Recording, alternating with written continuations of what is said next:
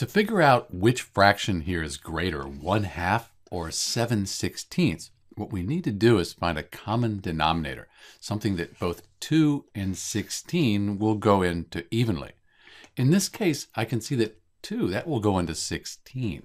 So I could just multiply 2 times 8, and that equals 16. And then over here we have 7 sixteenths. So that would actually give us this common denominator here. But I can't just multiply the denominator by 8. I need to multiply the numerator by 8 as well. That's because 8 divided by 8 is 1. So I'm just multiplying 1 half by 1. I'm not changing the value, just the way it's represented. 1 times 8 is 8, and 8 sixteenths, that has the same value as 1 half. They're both 0.5. But now, because I have the same denominator here, I can compare the numerators. And 8 is bigger than 7. So 8 sixteenths, that's bigger than 7 sixteenths. And 1 half, that's going to be greater than 7 sixteenths.